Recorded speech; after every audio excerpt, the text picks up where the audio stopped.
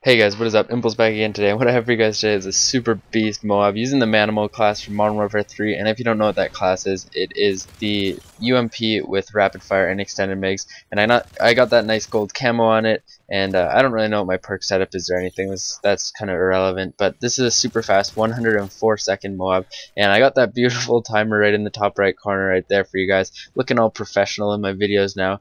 And uh, yeah, hopefully that's kind of something that you guys enjoy having the timer there so you can actually see it is 104 seconds. And I actually picked this up the other day playing with one of my friends, and this is a pretty beast Moab. I'm not gonna lie. It's probably one of my fastest, like maybe in my top three fastest Moabs.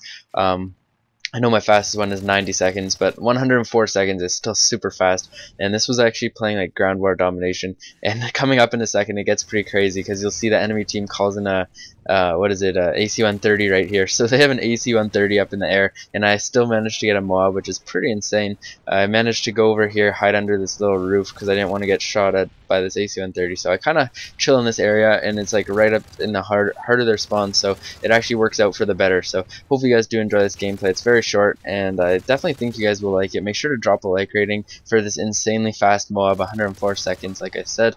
And yeah, I want to shoot for quite a few likes on this because it's pretty beast. Let's shoot for like 60 likes on this video. It's insane in my opinion.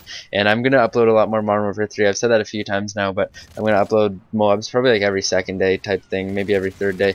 And I think that's pretty cool, kind of switching up from the Call of Duty, or switching it up from the Black Ops 2, because I know that's getting kind of boring, but um, hopefully you guys do enjoy this video. And if you do, make sure to drop a like rating. It's coming up to the end of the streak right here. You'll see I pick up the Moab, and then I die. I go for the double Moab. Unfortunately, I wasn't able to get it, but still pretty beast gameplay. So anyways, guys, thank you guys so much for watching, and I'm out for today. Peace. Wow, that's a fast Moab. I'm out, guys. Peace.